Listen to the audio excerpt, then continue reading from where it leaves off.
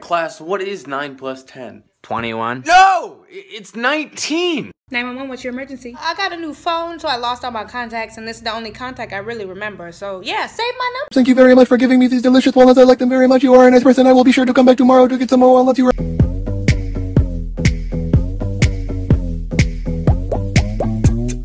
Who's that sexy thing